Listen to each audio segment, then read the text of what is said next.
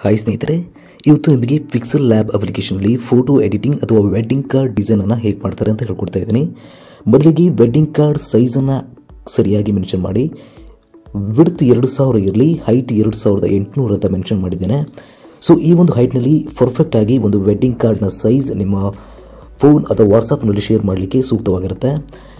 Wedding ಕಾರ್ಡ್ಗೆ ಮೊದಲು ಬ್ಯಾಕ್ಗ್ರೌಂಡನ್ನು ಸೆಲೆಕ್ಟ್ ಮಾಡಬೇಕಾಗುತ್ತೆ. ಪಿಕ್ಸೆಲ್ ಆ್ಯಪ್ ಅಪ್ಲಿಕೇಶನಲ್ಲಿ ನಿಮಗೆ ಡಿಫಾಲ್ಟ್ ಆಗಿರುವಂಥ ಬ್ಯಾಕ್ಗ್ರೌಂಡ್ ಕೂಡ ಸಿಗ್ತದೆ. ಆ ಬ್ಯಾಕ್ಗ್ರೌಂಡನ್ನು ಕೂಡ ಯೂಸ್ ಮಾಡ್ಬೋದು. ಅದರಲ್ಲಿ ಡಿಫಾಲ್ಟ್ ಆದ ಬ್ಯಾಕ್ಗ್ರೌಂಡನ್ನು ನೀವು ಗಮನಿಸ್ತಾ ಇರ್ಬೋದು. ಅಲ್ಲದೆ ನಿಮ್ಮ ಫೈಲ್ನಲ್ಲಿ ಫೈಲ್ ಮ್ಯಾನೇಜರಲ್ಲಿರುವಂಥ ಫೋಟೋಸನ್ನು ನೀವು ಕೂಡ ಹಾಕೊಳ್ಬೋದು. ಗೂಗಲ್ನಲ್ಲಿ ನೀವು ಈ ಮುಂಚೆ ಸೇವ್ ಮಾಡಿ ಇಟ್ಕೊಂಡಂಥ ಬ್ಯಾಕ್ಗ್ರೌಂಡನ್ನು ಕೂಡ ಇದರಲ್ಲಿ ಇದಕ್ಕೆ ಹಾಕ್ಬೋದು. ಸೊ ನಾವು ಆಲ್ರೆಡಿ ನಾನು ಗೂಗಲಲ್ಲಿ ಒಂದು ಫೋಟೋಸನ್ನು ಸ್ಕ್ರೀನ್ಶಾಟ್ ಮಾಡಿ ಇಟ್ಕೊಂಡಿದ್ದೇನೆ ಸೊ ಆ ಒಂದು ಬ್ಯಾಕ್ಗ್ರೌಂಡನ್ನು ಹಾಕ್ತಾ ಇದ್ದೀನಿ. ಸ್ವಲ್ಪ ಈ ಬ್ಯಾಕ್ಗ್ರೌಂಡನ್ನು ಅಡ್ಜಸ್ಟ್ ಮಾಡ್ಕೊಳ್ತಾ ಇದ್ದೀನಿ. ಸೆಚುರೇಷನನ್ನು ಸ್ವಲ್ಪ ಕಮ್ಮಿ ಇಟ್ಟು ಸೊ ಬ್ರೈಟ್ನೆಸ್ಸನ್ನು ಸ್ವಲ್ಪ ಅಡ್ಜಸ್ಟ್ ಮಾಡ್ಕೊಳ್ತಾ ಇದ್ದೀನಿ. ಸೊ ಈ ರೀತಿಯಿಂದ ಬ್ಯಾಕ್ಗ್ರೌಂಡ್ ಸ್ವಲ್ಪ ಡಾರ್ಕ್ ಆಗಿರೋದ್ರಿಂದ ಬ್ಯಾಕ್ಗ್ರೌಂಡ್ ಮೇಲ್ಗಡೆ ಬರುವಂಥ ಫಾಂಟ್ಗಳು ನಮಗೆ ಸರಿಯಾಗಿ ಸರಿಯಾಗಿ ಗೊತ್ತಾಗುತ್ತೆ. ಸೊ ಅದಕ್ಕೋಸ್ಕರ ಬ್ಯಾಕ್ಗ್ರೌಂಡ್ ಸ್ವಲ್ಪ ಡಾರ್ಕ್ ಆಗಿರಲಿ ಬ್ಯಾಕ್ಗ್ರೌಂಡ್ ಹೆಚ್ಚು ಲೈಟ್ಸ್ ಇರಬಾರ್ದು. ಸೊ ಬ್ಯಾಕ್ಗ್ರೌಂಡ್ನ ಸೆಲೆಕ್ಟ್ ಮಾಡಿದ ತಕ್ಷಣ ನಿಮಗೆ ಇದರಲ್ಲಿ ಬೇಕಾಗಿರುವಂಥ ಫಾಂಟ್ಗಳನ್ನು ನೀವು ಮೆನ್ಷನ್ ಮಾಡಬೇಕಾಗತ್ತೆ. ಏನೇನು ಫಾಂಟ್ಗಳು ಬರಬೇಕು, ಏನೇನು ಕಂಟೆಂಟ್ಗಳು ನಿಮ್ಮ ಬ್ಯಾನರಲ್ಲಿ ಬರಬೇಕು ಅನ್ನೋದು ಇರುತ್ತೆ. ನೀವು ಒಂದು ಮದುವೆ ಕಾರ್ಡನ್ನು ಡಿಸೈನ್ ಮಾಡ್ತಾ ಇದ್ದೀರಾ ಸೊ ಶುಭ, ವಿವಾಹ ಅಂತ ನಾನು ಮೆನ್ಷನ್ ಮಾಡ್ತಾ ಇದ್ದೀನಿ. ಈ, ಈ- ರೀತಿಯ ಎಲ್ಲ ಕಂಟೆಂಟ್ಗಳನ್ನು ಇದಕ್ಕೆ ಆ್ಯಡ್ ಮಾಡ್ಕೊಳ್ತಾ ಇದ್ದೀನಿ. ಸೊ ಮೊದಲು ಎಷ್ಟು ಕಂಟೆಂಟ್ ಬರಬೇಕು, ಆ ಕಂಟೆಂಟೆಲ್ಲ ಆ್ಯಡ್ ಮಾಡ್ಕೊಳ್ಳಿ. ಕುಲದೇವತಾ ಪ್ರಸನ್ನ. ಮದುವೆಯ ವಧುವರರ ಹೆಸರನ್ನು ಕೂಡ ಇದಕ್ಕೆ ಮೆನ್ಷನ್ ಮಾಡ್ಕೊಳ್ಳಿ. ಸೊ ಇನ್ನೂ ಕೂಡ ಹೆಚ್ಚಿನ, ಆ ಕಂಟೆಂಟ್ಗಳು ಕೂಡ ಆ್ಯಡ್ ಮಾಡ್ಕೊಳ್ಬೋದು. ಸಮಯದ ಸಮಯ ಜಾಸ್ತಿ ಆಗುತ್ತೆ ಅಂತ ನಾನು ಸ್ವಲ್ಪ ಒಂದು, ಸ್ವಲ್ಪ ಪ್ರಮಾಣದಲ್ಲಿ ನಾನು ಕಂಟೆಂಟನ್ನು ಆ್ಯಡ್ ಮಾಡಿದ್ದೀನಿ. ನಿಮಗೆ ಒಂದು ಐಡಿಯಾ ಸಿಗ್ತದೆ ಯಾವ ರೀತಿ ಎಡಿಟಿಂಗ್ ಮಾಡೋದು ಅಂತ. ಸೊ ಈ ರೀತಿ ಆದಮೇಲೆ ಶುಭ ವಿಭಾಗ ಅಂತ ಇದೆ. ಫಾಂಟ್ಗಳನ್ನು ಡಿಸೈನ್ ಮಾಡುವಂಥದ್ದು. ಫಾಂಟನ್ನು ಡಿಸೈನ್ ಮಾಡಬೇಕಿದ್ರೆ ಅದರ ಫಾಂಟ್ನ ಹಿಂದ್ಗಡೆ ನೀವು ಟೆಕ್ಸ್ಚರ್ ಅಂತ ಇದೆ. ಟೆಕ್ಸ್ಚರ್ ಹಾಕ್ಬೋದು ನಾನು ಆಲ್ರೆಡಿ ನಾನು ಡೌನ್ಲೋಡ್ ಮಾಡಿ ಇಟ್ಕೊಂಡಂಥ ಗೋಲ್ಡ್ ಕಲರ್ ಟೆಕ್ಸ್ಚರನ್ನು ಶುಭ ವಿವಾಹ ಅಂತ ಇದೆ, ಅದರ ಹಿಂದ್ಗಡೆ ಹಾಕಿದ್ದೀನಿ. ಸೊ ಇದರಿಂದ ಸ್ವಲ್ಪ ಫಾಂಟ್ಗಳು ತುಂಬ ಚೆನ್ನಾಗಿ ಕಾಣಿಸ್ತದೆ.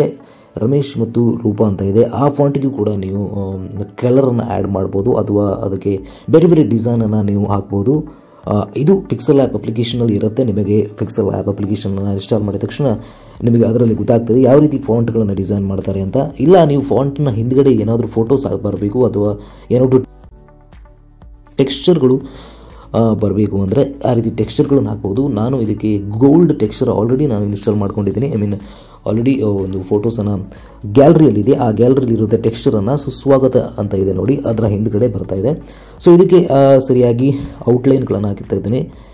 ಸೊ ಶ್ಯಾಡೋಸ್ಗಳನ್ನು ಕೂಡ ಹಾಕ್ತಾ ಇದ್ದೀನಿ. ಸೊ ಇದರಿಂದ ಸ್ವಲ್ಪ ಎಫೆಕ್ಟಿವ್ ಆಗಿ ತ್ರೀ ಡಿ ರೂಪದಲ್ಲಿ ತೋರುತ್ತೆ. ಸೊ ನೀವು ಪಿಕ್ಸೆಲ್ ಆ್ಯಪಲ್ಲಿ ಇದನ್ನು ಸರಿಯಾಗಿ ಗಮನಿಸ್ಬೋದು ಇದರಲ್ಲಿ ನಿಮಗೊಂದು ಐಡಿಯಾ ಸಿಗ್ತದೆ ಯಾವ ರೀತಿಯಲ್ಲಿ ಫಾಂಟ್ಗಳನ್ನು ಡಿಸೈನ್ ಮಾಡ್ಬೋದು ಫಾಂಟ್ಗಳಿಗೆ ಯಾವ ರೀತಿ ಟೆಕ್ಸ್ಚರ್ ಆಗಿರ್ಬೋದು ಔಟ್ಲೈನ್ ಆಗಿರ್ಬೋದು ಇನ್ನರ್ ಬ್ರೈಟ್ಲೆಸ್ ಆಗಿರ್ಬೋದು ಇನ್ನರ್ ಶ್ಯಾಡೋ ಆಗಿರ್ಬೋದು, ಈ ರೀತಿಯ ಶ್ಯಾಡೋಸ್ಗಳನ್ನು ಹಾಕೋದ್ರಿಂದ ಮತ್ತು ಸ್ವಲ್ಪ ನಿಮಗೆ ಬ್ಯಾನರ್ಗಳು ಅಟ್ರಾಕ್ಟಿವ್ ಆಗಿ ತೋರುತ್ತೆ. ಸೊ ಇನ್ನೂ ಕೂಡ ಅಟ್ರಾಕ್ಟಿವ್ ಆಗಿ ಮಾಡ್ಬೋದು.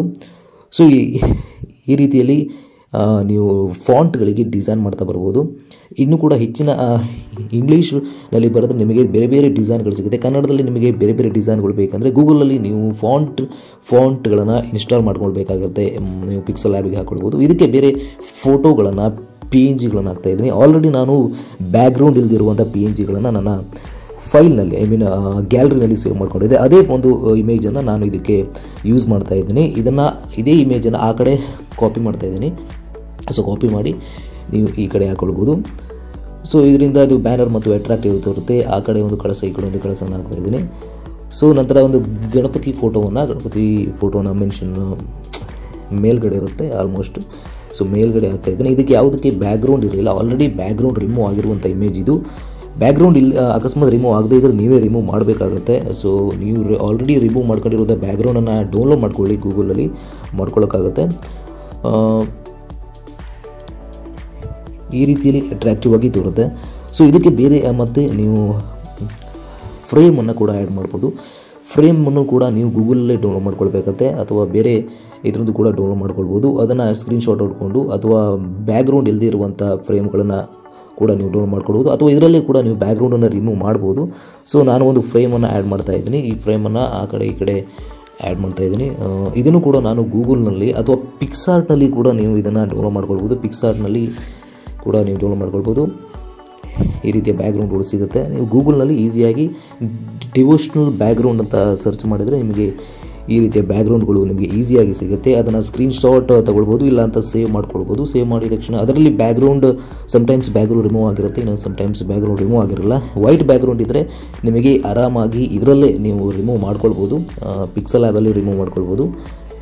ನಾ ಈ ಈ ಫ್ರೇಮ್ ಸ್ವಲ್ಪ ಶಾರ್ಟ್ ಆಗಿದೆ. ಇದೇ ಫ್ರೇಮನ್ನು ಕಾಪಿ ಮಾಡಿಕೊಂಡು ಅಲ್ಲೇ ಅದರ ಡೌನ್ ಸೈಡ್ ಆಗ್ತಾಯಿದ್ದೀನಿ ಸೊ ಇದನ್ನು ಸ್ವಲ್ಪ ಕ್ರಾಪ್ ಮಾಡ್ಕೊಳ್ತಾ ಇದ್ದೀನಿ. ನಮಗೆ ಇದರ ಅರ್ಧ ಸಾಕಾಗ್ತದೆ. ಸೊ ಅದಕ್ಕೋಸ್ಕರ ಕಾಪಿ ಮಾಡಿಕೊಂಡು ಫುಲ್ ಫುಲ್ ಮಾಡಬೇಕು ಫಿನಿಶಿಂಗ್ ಮಾಡಬೇಕಾಗತ್ತೆ. ಅದಕ್ಕೋಸ್ಕರ ನಾನು ಮಾಡ್ಬೋದು. ನಿಮ್ಮ ಇಮೇಜ್ ಯಾವ ರೀತಿ ಇದೆ, ಆ ಇಮೇಜ್ ಅದರ ಮೇಲೆ ಫ್ರೇಮ್ ಕೂಡ ಅಷ್ಟೇ ಚಿಕ್ಕದಾಗಿ ಸ್ಲಿಮ್ ಆಗಿರಬೇಕಾಗುತ್ತೆ ದೊಡ್ಡ ಫ್ರೇಮ್ಗಳನ್ನು ಹಾಕಿದರೆ ಸ್ವಲ್ಪ ಬೋರ್ ಆಗ್ತದೆ ಆಡ್ ಆಗಿದ್ದು ಕಾಣಿಸ್ತದೆ.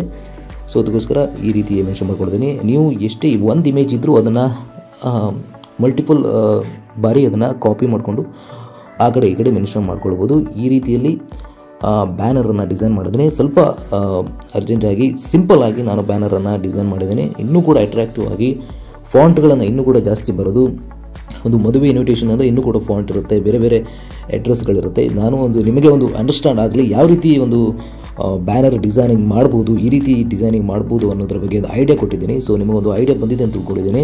ಇನ್ನೂ ಕೂಡ ಫಾಂಟ್ಗಳನ್ನು ಅಡ್ಜಸ್ಟ್ಮೆಂಟ್ ಮಾಡಬೇಕಾಗತ್ತೆ ಈಸಿಯಾಗಿ ಅಡ್ಜಸ್ಟ್ಮೆಂಟ್ ಮಾಡ್ಬೋದು. ಸೊ ಈ ರೀತಿಯಲ್ಲಿ ಒಂದು ವೆಡ್ಡಿಂಗ್ ಕಾರ್ಡ್ ಡಿಸೈನ್ ಆಗಿರ್ಬೋದು ಪೋಸ್ಟರ್ ಡಿಸೈನ್ ಆಗಿರ್ಬೋದು, ಬೇರೆ ಬೇರೆ ಡಿಸೈನ್ಗಳು ಇದೇ ರೀತಿ ಕೂಡ ನೀವು ಮಾಡ್ಬೋದು. ಸೊ ಇನ್ನೂ ಕೂಡ ಕನ್ಫ್ಯೂಷನ್ ಇದ್ದರೆ ಡೈರೆಕ್ಟಾಗಿ ಯೂಟ್ಯೂಬ್ನಲ್ಲಿ ಕಮೆಂಟ್ ಮಾಡಿ ಕಮೆಂಟ್ನಲ್ಲಿ ನಿಮಗೆ ಉತ್ತರ ಕೊಡ್ತೇನೆ. ಸೊ ಇಲ್ಲಿವರೆಗೆ ವಿಡಿಯೋ ನೋಡೋದಕ್ಕೆ ಧನ್ಯವಾದಗಳು ಆ್ಯಂಡ್ ವಿಡಿಯೋ ಇಷ್ಟ ಆದರೆ ಲೈಕ್ ಮಾಡಿ ಶೇರ್ ಮಾಡಿ ಮತ್ತು ಸಬ್ಸ್ಕ್ರೈಬ್ ಮಾಡಿ. ಜೈ ಹಿಂದ್, ಜೈ ಕರ್ನಾಟಕ.